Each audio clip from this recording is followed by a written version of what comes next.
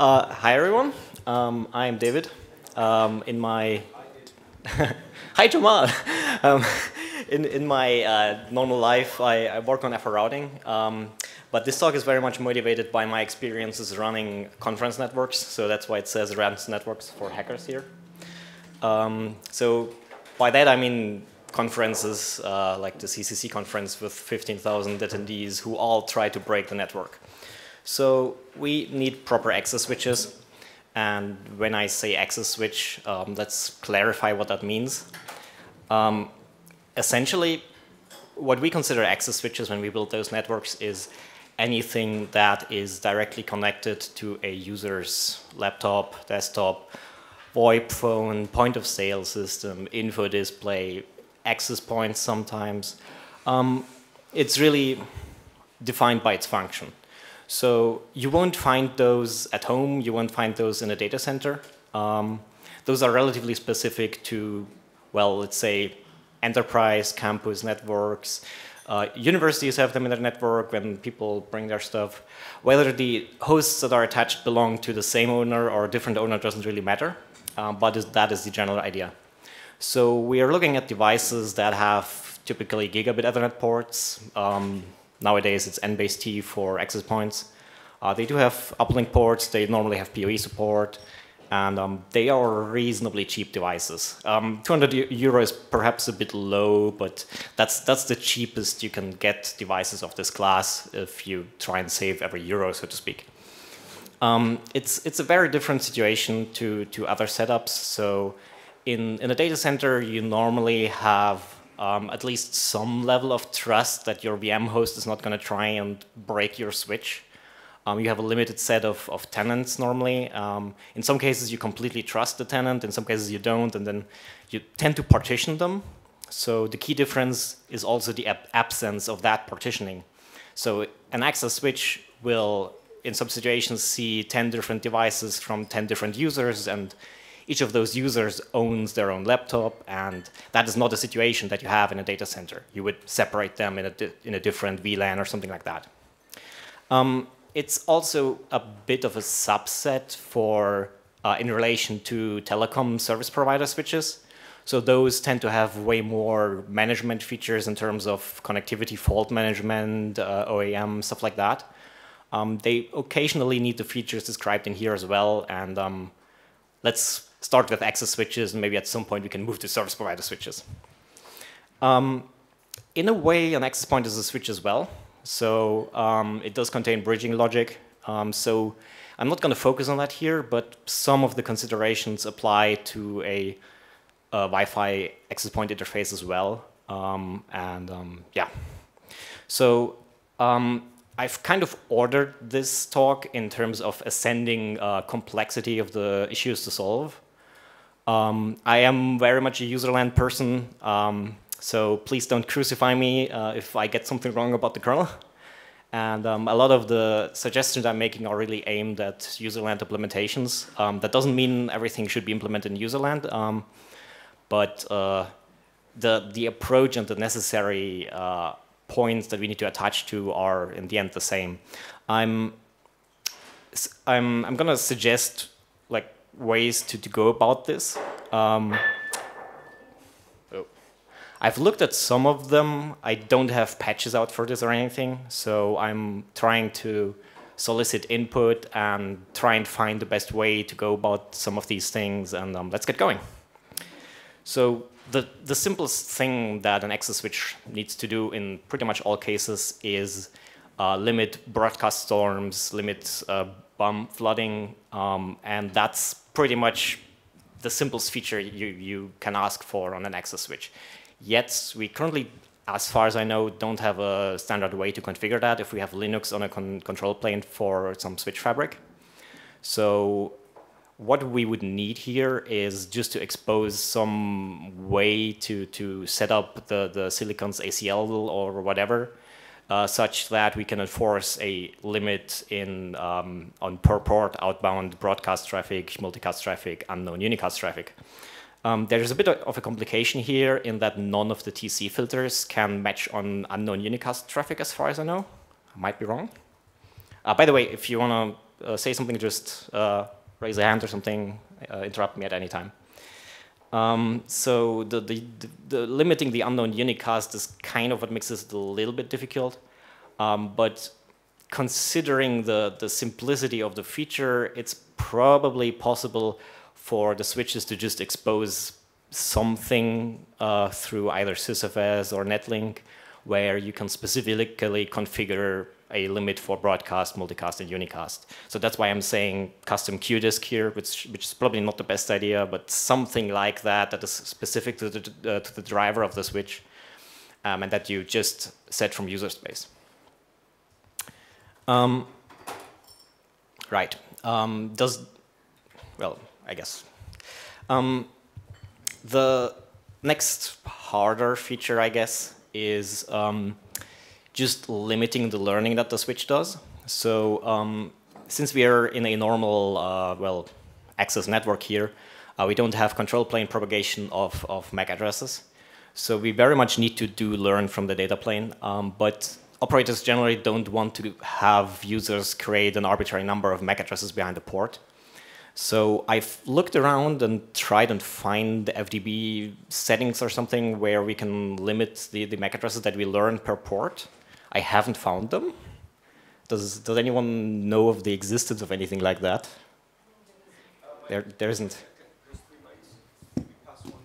Yeah. No, there isn't. And I, is this something port security related or just is it something port security related? I know there is a port security feature which is not present in the bridge driver today, but uh, it limits number of. I, I wouldn't put it under port security. It's more like network security. So mm -hmm. it's mm-hmm. not about authenticating specific devices to allow mm -hmm. them on the network. Mm -hmm. It's just preventing um, a malicious user or even a malfunctioning device from uh, flooding on one port a huge number of MAC addresses, thus breaking the entire network. So it, it, needs to enforce at the network edge that, for example, a reasonable port limit would be uh, 16 MAC addresses per port. And you wouldn't specify them, you still learn, and people can still plug in other things, and you're not doing 1x or anything like that for uh, authentication. Yes. Um, so... Um, there is a question. Yeah, so you listed EVPN. Why no EVPN? Um, because you still need to learn the MAC addresses of the user's devices. So you can run EVPN towards the core of the network, but the user's laptop is not going to do a BGP peering with you and tell you its MAC address, right?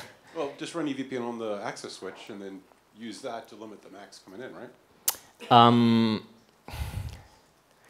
but the user can still plug in some device and uh, flood the access switch with a thousand MAC addresses. well, something. Well I guess what I was saying is add a add a filter on Zebra to limit the number of MAC addresses coming that, out. That might protect the EVPN domain, but it doesn't protect the switch itself.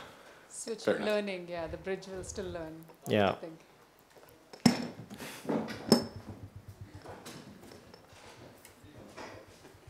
So um, if you're going to do port limiting or MAC limiting, you have to be very careful, right? Because if, if you otherwise end up in a situation where you are indiscriminate about which one you drop, you could end up dropping the one that needs to be able to log in so that you can stop the flood. So uh, you have to, I think, end up create a whitelist or something and then go from Yeah, th that's what I mean with operator policy may have additional input on the slide. Yeah. So um, the, the, this is really up to configuration and, and policy of the network.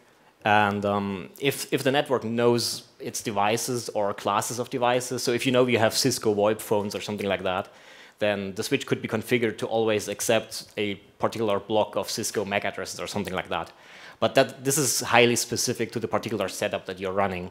And to get back to a conference network, in that case, we don't have any preference in which devices get on and which are refused. We just want to prevent um, an arbitrary number of MAC addresses to flood the network. Um, so for this specific problem, I'm not sure what the best way to go about uh, approaching it is. Um, I guess we need some kind of integration with the FDB. Um, I suppose I would want to implement the policy in user space so the operator can have additional knobs on this. Yeah, so 802.1x that you mentioned previously. So there is a feature without 802.1x to do the exact same thing, not limit. So basically limit the number of MACs. And ah. some of the developers in host hostapd, right? hostapd were considering not skipping the .1ax, but just uh, snoop packets and only add um, basically stop learning on the bridge, Hmm. snoop from user space, and add just Right. the limited Ah, number okay. of flags. So that's I definitely, option. I definitely need to look at that. Yeah, it's not implemented though. It was just Yep. discussed recently. So Okay. cool. Um, but it's, it's nice to hear that there's discussion ongoing about the topic. So, cool. so skipping to the next topic. um, who here knows what MVRP is? One hand, two hand, three hands. So um, the IEEE has a whole list of protocols on the Ethernet level. Um, MVRP is designed to propagate VLAN memberships across a network. So if you have an access switch and the access switch is configured by the operator to, hack, to carry VLAN 100 on some port, then MVRP can propagate that information towards other switches. And as soon as MV MVRP establishes that there's more than one device in the network that is configured for a VLAN, you get that VLAN throughout your network. Uh, by itself, this is um, something that can easily be done with a daemon in user space. However, there are a few problems in the details, um, which is that um, I would, I've looked at implementing this, and I would really like to get a protocol value on the VLAN membership uh, uh, subscription on the Bridges VLAN filtering database. Um, so the, the idea here is that um, if we have MVRP in operation, um, we kind of need to distinguish between VLANs that were added to the filtering database by MVRP on specific ports, as opposed to user config or even LLDP or 802.1x, both of which can also add VLANs. So if you have 1x and the RADIUS server tells you to put the user in a specific VLAN, then that is also something that MVRP needs to pick up on. Um, so this is a really simple thing, I guess, I hope. um, yeah, we have a patch for the FDB, right? FDB to add a proto field in the FDB for the same reasons like for E EVPN installing FDB entries. Yeah. So this you're asking for VLAN per yeah, VLAN. yeah, so per Okay. VLAN port uh, status. So it's not per VLAN on the bridge, it's Okay. per, per port that carries the VLAN. VLAN with the tagged or untagged information and yeah. Has that? Okay. Yeah. Okay, and for VLANs because for the same reason, people Mm. maybe that serves the same purpose, right? To recognize. Um, Well, th- the, the thing is, a VLAN on a, on a bridge um, can on one port be configured by the user and on another port be uh, added by MVRP. So this is not a property of the VLAN, so an, an, an alias of the VLAN wouldn't help for this case. okay. Okay. Um, right. So this sounds pretty easy. Um, someone needs to write a patch. Maybe that's me. um, there's another problem with MVRP. Um, I hope people aware of, are aware of the group forward mask that is currently there. The MVRP address is not covered by that. Um, neither is the CDP address, by the way. Um, so there's a bit of a problem here in that we need to be able to pick up uh, specific traffic and prevent it from being bridged. Um, the, the only, well, the only way to get close to that I found in existence is uh, B route, which I'm not sure is a good idea to, to use for this functionality. Um, I would hope that we can move in the direction of a TC action or something that punts down frames, and I'm going to talk about this much more later when I've gone through the traffic inspection features for ARP and DHCP and so on, because it's kind of related and the same thing. Um. So, uh, quick, quick point on that. So, if you're using B route or TC, it assumes that you're, it's basically forward unless told not to, right? You're going to install a negative filter later. But if I understood the group forwarding thing, it was meant to prevent accidentally merging VLAN domains, isn't it? Uh, no, no, no, no. The the group forward mask is designed to um, make sure that, for example, LLDP and STP frames are not propagated through the bridge. Oh, that's what it was. So, I, I, okay, then remind me of a different problem, uh, the solution of the different problem, which is I have a user specified VLAN 20 because I just pulled one out of thin air. But MVRP now put another port in, in VLAN 20 and I've just merged my broadcast domains. How do I prevent that from happening? Um, if, if you have this situation happening with access switches on, on, an, on a network, you would either, so if you have a loop, you would rely on the broadcast controls or STP. Um, there is no, no feature that I'm aware of that gives you a specific warning or anything like that if, if you accidentally merge two different VLANs or something like that.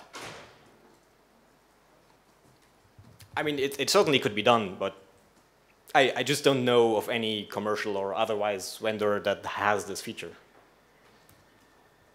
Um, I do, well, we've already moved into to loop detection here.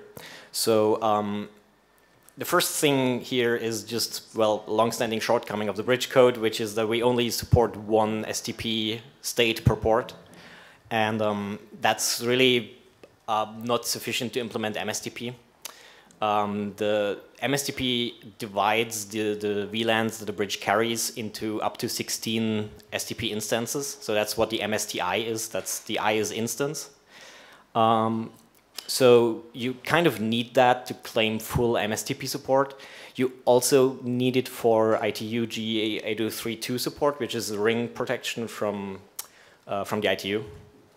Um, so that, that that protocol is on, on the boundary between access and service provider networks, and it has a control VLAN, which is separately controlled, and you could slash should slash maybe would implement that with a different instance. Um, we are also short of um, different loop detection protocols that are still used, which does actually include the, the diagnostic protocol that was specified in the original Ethernet specification from 1982. So as a note that operators generally don't trust STP that much, so they like to have other options. Um, with all of this, um, it's a discussion of extending MSTPD in user space. Um, I'm not sure what the general, general belief and agreement on the kernel STP implementation is. I guess it's deprecated. I hope it's well, deprecated. It probably can't be removed due to compatibility yeah, considerations. Yeah, I think most people use the user mode uh, helper and yeah. run it because there is an RSTP implementation and an MSTP implementation. Yeah. So maybe maybe it's it's it's uh, late enough in the removal or something to make it even harder to use the kernel implementation or something like that, um, just to deter people from using it. Um, but that said, regardless of that, um, having some way of mapping VLANs to, to MSTIDs is really yes. useful. And unfortunately, that brings with itself, again, hardware limitations because not all hardware supports multiple instances, especially on low-end devices. So we probably need to represent that too. But um, it's, it should be a solvable problem. Um, let's get to the really interesting part. Are you interested in working on the user space STP?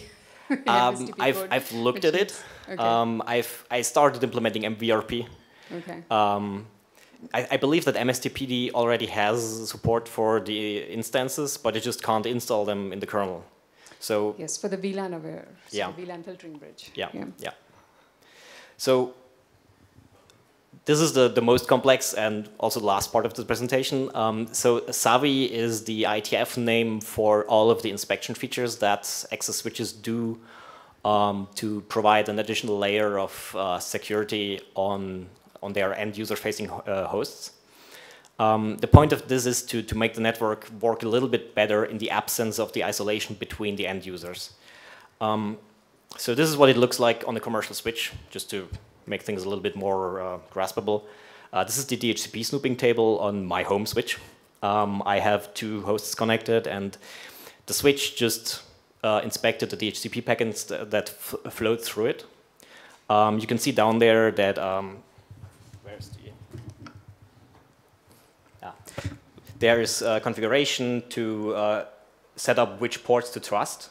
So on this particular switch, you configure both the server IP for DHCP as well as the port where it's allowed to be attached. So the switch will prevent um, DHCP server operation from, from any other port. Um, it, will, it, will, it will also check the IP address of the DHCP server. Um, not all switches do that. It's a bit di divergent. and um, it will. Uh, this particular switch will also make sure that um, ARP cannot be used to steal addresses from other people if they were assigned by DHCP. So, in general, switches will have um, some kind of configuration for trusted ports, like I just pointed out. Um, how that looks depends on the setup. Um, it needs to be configured by the by the by the operator. Um, this can also be used to feed into uh, what Srijit uh, brought up about um, port MAC uh, limits. So if you know that a port has a particular MAC address that was assigned an address, um, you can prefer that address over other addresses when you notice that the limit is being reached and you need to remove some addresses. Um, so this doesn't inspect any IP or IPv6 data packets um, because as soon as the switch has ensured that ARP and ICMPv6 cannot uh, be disturbed to, to disassociate the IP address from the MAC address, the remaining checking can be done on the router for the subnet. So this is only really neighbor management traffic. We are not talking about inspecting actual data traffic on the switch here. So for IPv4, this entails checking the DHCP. It also entails modifying the DHCP. So there's uh, option 82, which is an IETF uh, RFC, where DHCP requests from clients are extended with the number of the port that re the request came in on. Um, so that means the switch modifies the packet inside of the bridge. Um, and it does control ARP. So it can do that in, in combination with DHCP tracking, or it can also do just first come, first serve. Uh, for IPv6, it's pretty much the same thing, um, except router advertisements are now being controlled uh, in addition to DHCP. SEND is a nice standard that didn't really go anywhere. So um, the idea of SEND is that you have a cryptographic key and you put the public key in the IPv6 address and then the host can prove that it actually owns the address and I don't believe it's used anywhere, but in theory, it would be checked by the switch as well.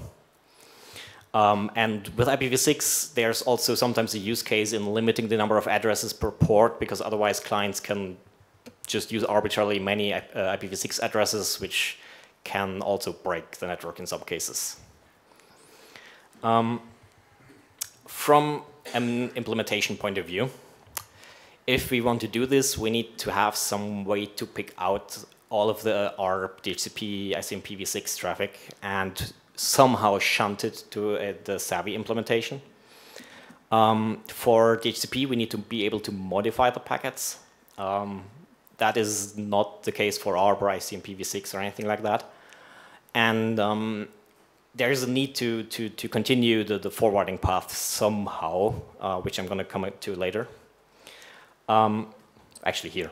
so um, there's two stages of filtering involved here. We first need to make sure that the switch silicon isn't just forwarding the traffic.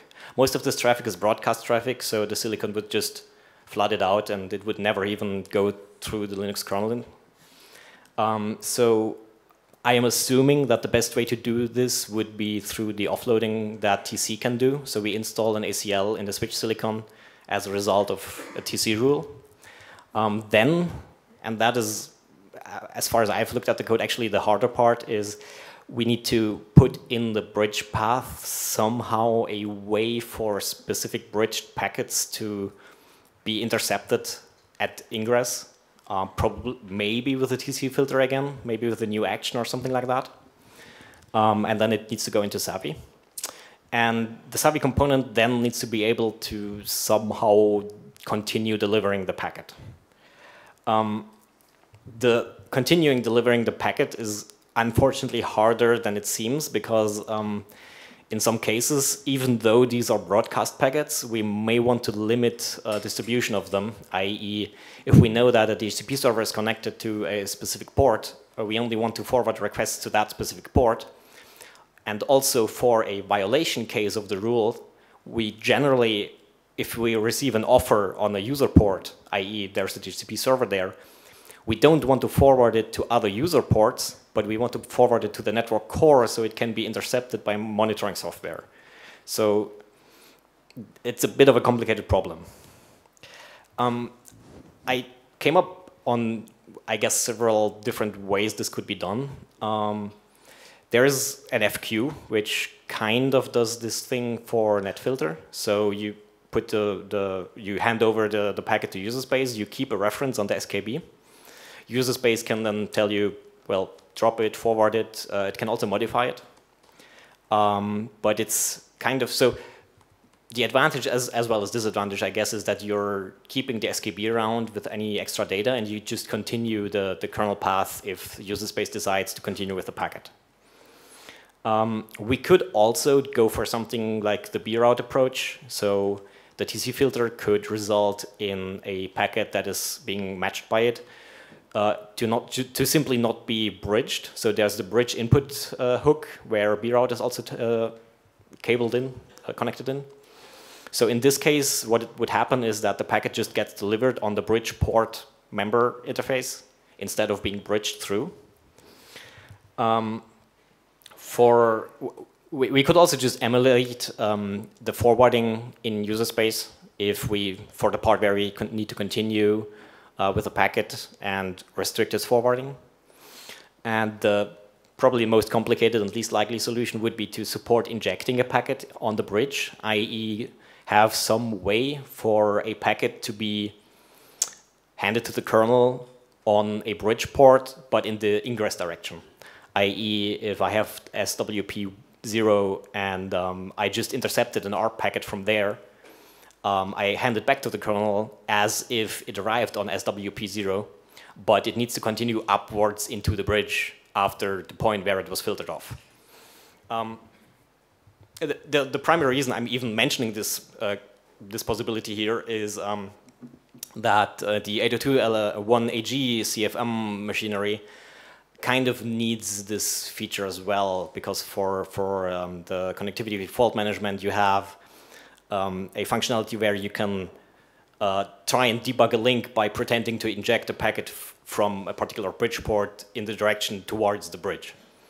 Um, then again, I'm just, this is just trying to brainstorm how this could be done.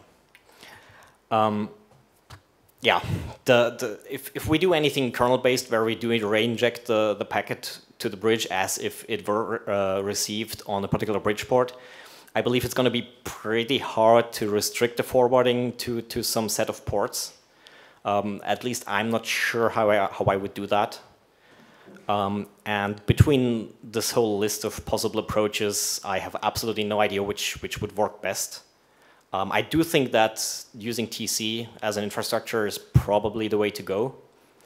Um, I suppose it needs a new action.